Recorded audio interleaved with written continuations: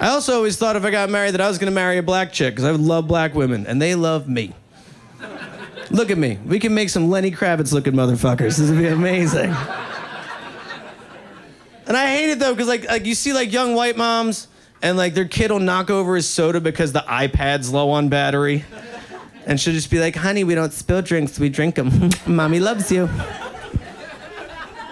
Nope.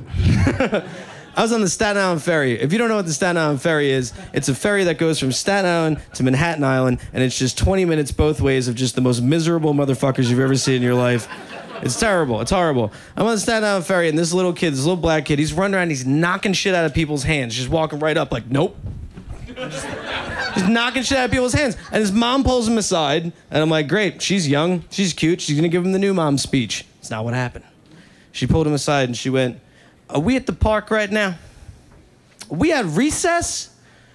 We are on a fucking boat.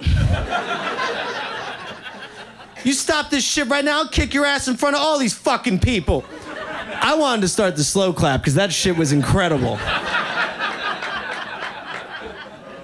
I couldn't though, because I had already moved behind someone taller than me. Like she's gonna hit all of us. Oh my god, that is the scariest woman I've ever seen in my life. Why do I have a boner on the ferry? This is weird. This is weird.